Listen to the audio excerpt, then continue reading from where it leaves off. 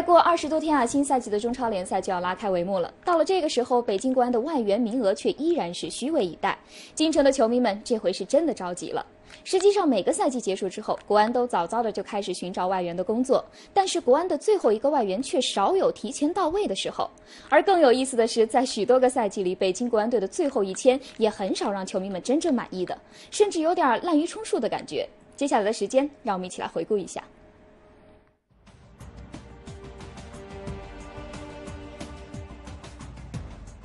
二零零六赛季，北京国安有两件事情让球迷们记忆犹新，一个是主场搬到丰台体育中心，另一个就是国安和皇马签署了全面合作协议，其中就包括由皇马俱乐部帮助引进优秀外援。为此，国安方面放弃了此前表现优异的中超最佳射手耶里奇。然而，直到新赛季开始的时候，他们才匆匆推荐了一名名叫米尔顿的玻利维亚前锋。无奈之下，国安甚至来不及细细考察米尔顿的能力，就和他签署了工作合同。京城的球迷们当然不会忘记，仅仅四个月后，这位前玻利维亚国脚就带着遗憾告别了京城。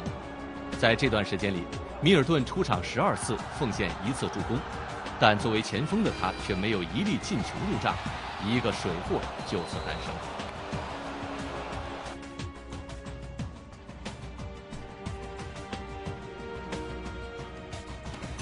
二零零七年，国安多多少少吸取了教训，紧赶慢赶，总算是赶在联赛开始前用完了三个外援名额。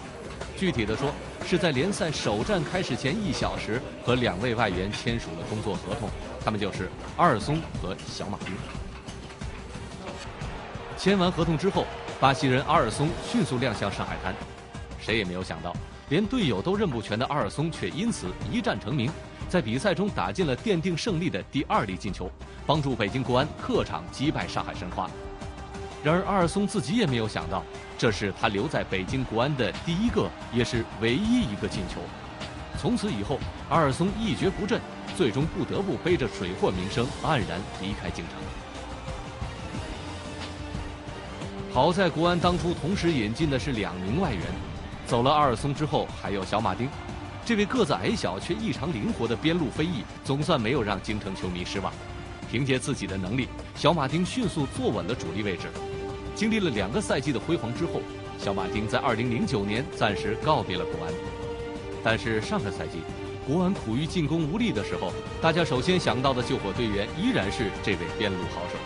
这样看来，国安在2007赛季的仓促引援并非没有收获。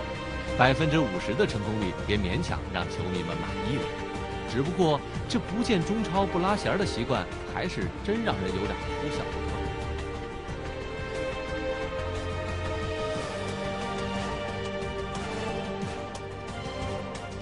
到了二零零八赛季，国安的引援工作明显加快了节奏。一月下旬，距离亚冠首场比赛还有一个半月的时候，国安的第三名外援马其顿国脚斯托扬早早宣告到位。然而，国安这一次又失算了。这位体能极为出色的后腰却始终无法融入国安的战术体系，甚至从赛季初期开始，他就已经进入了李章洙的黑名单。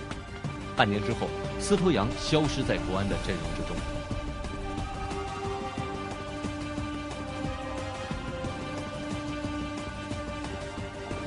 有了斯托扬这个例子，国安在外援的选用上又谨慎了许多。二零零九年。国安的外援名额，直到亚冠联赛开始之后，依然没有用完。三月十五号，也就是消费者权益日这一天，国安终于和来自洪都拉斯的中超先生大马丁签署了合约。而在几轮比赛过后，前中超先生来到北京后，明显有水土不服的迹象。直到二零零九年十月，大马丁才终于在国安客场对阵河南建业的比赛中露出真容。而在2009赛季的最后一场中超比赛中，大马丁大显神威，用三粒进球证明了中超先生的不俗实力。最后一签，直到最后一轮才完全体现价值，这中间忽略了二十八轮。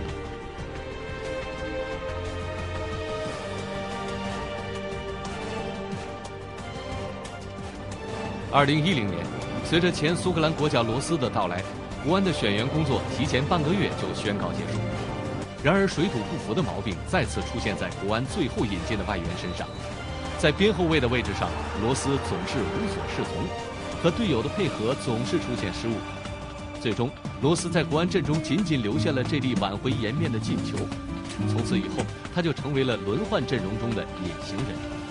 尽管罗斯最终还是坚持到了赛季结束，但就连他自己也都认为，这一年的光阴虚度了。今年的最后一天，国安队是会继续以往的低迷，还是会上演终极绝杀的给力一幕？